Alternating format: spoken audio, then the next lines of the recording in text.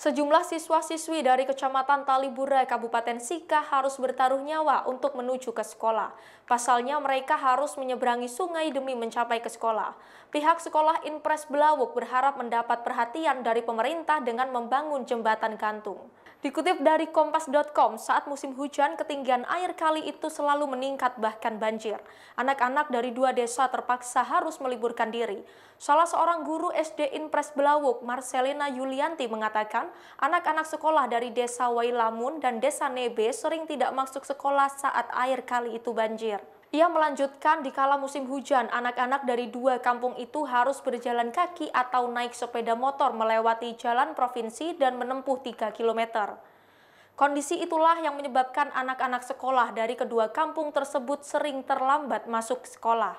Pihak sekolah tidak memberikan sanksi dan memaklumi keadaan ini. Marcelena juga menyebutkan jumlah siswa dari kedua wilayah ini sekitar 20 orang yang bersekolah di SD Inpres Belawuk. Terpisah, Kepala Sekolah SD Inpres Belawuk, Maurtinus Roi Dacunha berharap kondisi itu bisa mendapat perhatian pemerintah.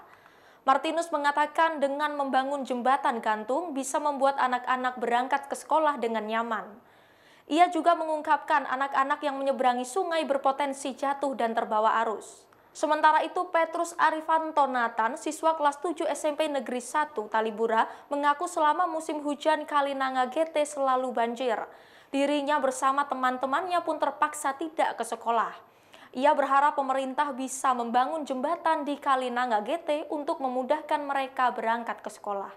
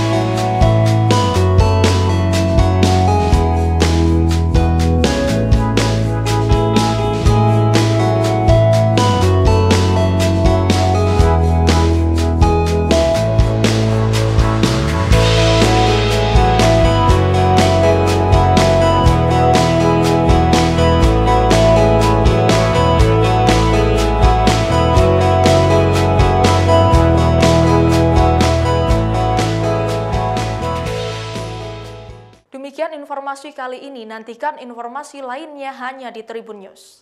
Terima kasih sudah nonton. Jangan lupa like, subscribe, dan share ya.